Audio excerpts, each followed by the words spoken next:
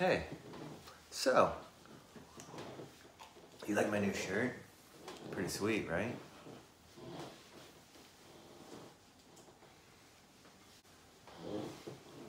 Two commandments.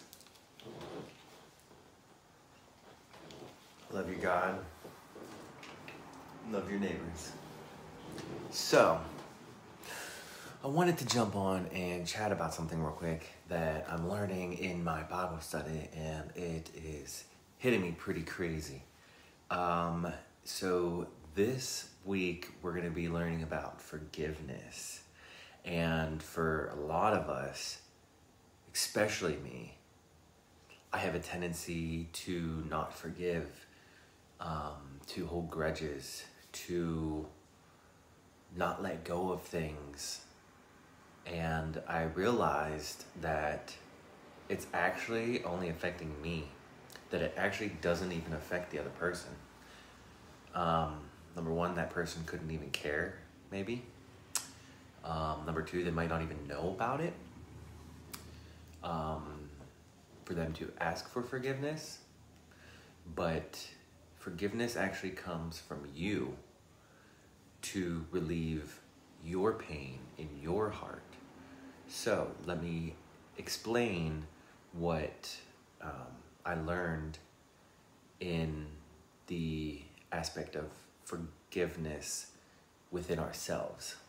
So, Ephesians 1 7, He is so rich in kindness and grace that He purchased our freedom with the blood of His Son and forgave our sins. So, if your God can do that for you, why can't we do that for others and ourselves? Because we live in a fallen world. We face the realities of hurt and offense.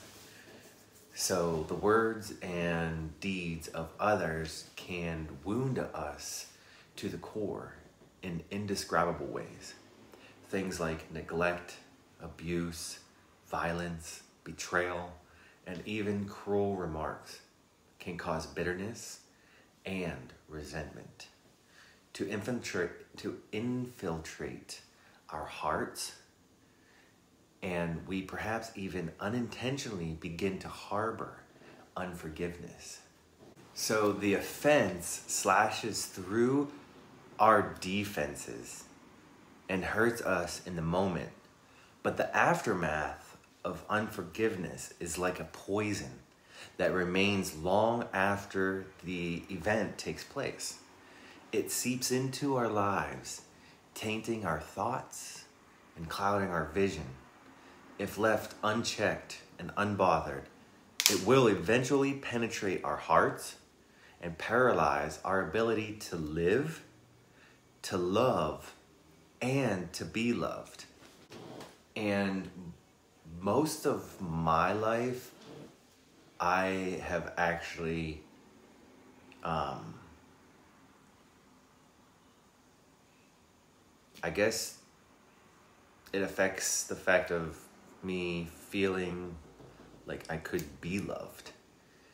And that's why me finding Jesus was a miracle because I have someone that loves me for who I am no matter what.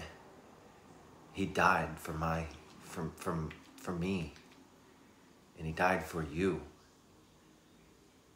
And it's just the most beautiful gift ever given.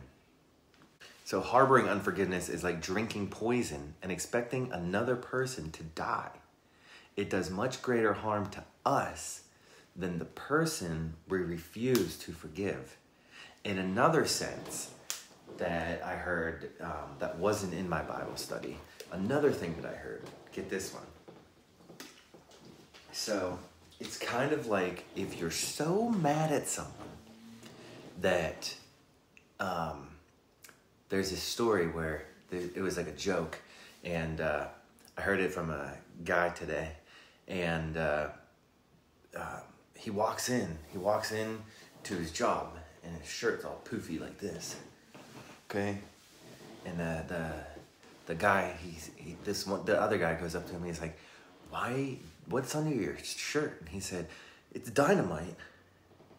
And he said, "Why do you have dynamite under your shirt?" And he said, "Well, because so and so, every time he comes in, he slaps me on the chest, and it hurts, and it makes me feel upset and angry. So I'm gonna blow his hand off." but it's gonna hurt you too. you see, it's kind of like catching yourself on fire and hoping the other person gets hurt by smoke inhalation.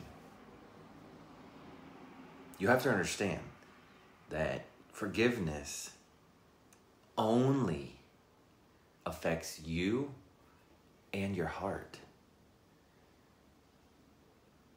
So learn to forgive and let go does not mean that you have to keep that person in your life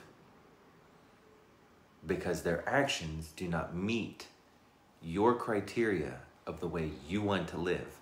And if you want to live right, righteous, honorable, with good morals and respect, and this person doesn't meet those morals in your life, they don't have to be in your life. But you do have to forgive them because it only hurts you. So, God bless. I hope that helps you. Have a wonderful day.